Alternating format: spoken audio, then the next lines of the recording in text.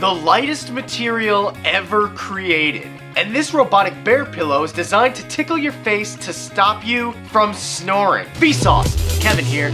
This is Mind Blow. Invoked computing is a concept that removes the physical computers from our homes and offices and instead allows for basically anything to become computerized, like using this pizza box as a sort of laptop or this banana as a phone.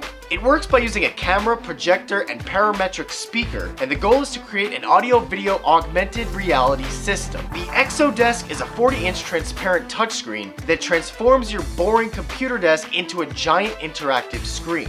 You can quickly navigate widgets or just make your desk a virtual piano, and it'll be available for purchase sometime next year. To skip touching altogether, there's Eye-Asteroids, the world's first eye-controlled arcade game. It uses eye tracking technology and claims the experience feels like the game is reading your mind.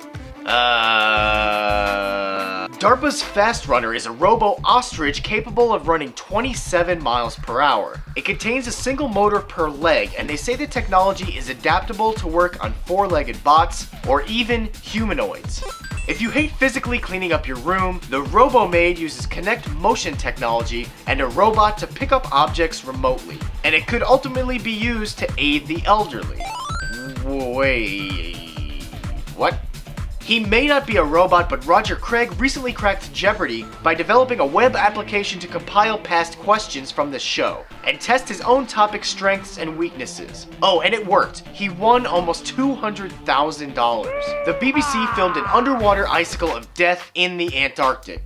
The cold sinking brine is denser than the seawater and freezes as it contacts warmer water below the surface, eventually reaching the sea floor and freezing any creatures in its path. Okay, here's what blowing up walls with a water cooler bottle looks like. Or just sending one through the side of a van. Finally, here's an epic video from Rollerman.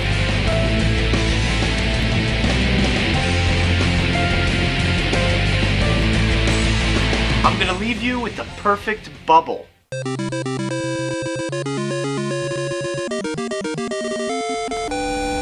There are four clues hidden in the description of this video. The first person to answer all four correctly will be our Genius of the Week. So good luck, and as always, thanks for watching.